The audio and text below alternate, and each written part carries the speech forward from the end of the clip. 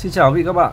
Trên hình các bạn thể thấy để chọn bộ bảng main của Lenovo uh, Viber C2 Có tên mã là K10 A40 đang có mặt tại di động cấp.vn Khi bạn gặp lỗi sự cố liên quan phần bảng main của Lenovo Viber à, C2 lỗi hỏng không lên gì khởi động lúc lên lúc không chập chờn.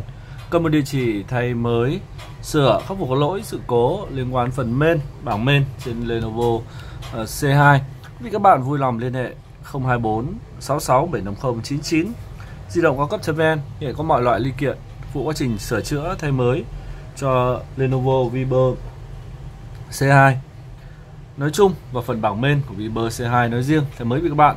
Vì các bạn chỉ cần cầm máy qua các địa chỉ của di động cao cấp.vn chúng tôi tiến hành thay mới với các bạn. Nhanh chóng, an toàn và tiện lợi. Thông tin cụ thể hơn, chi tiết hơn về dịch vụ thay mới main, đổi mới main cho Lenovo Viber C2 Quý vị các bạn vui lòng liên hệ 024 66 750 99. Xin cảm ơn quý vị và các bạn.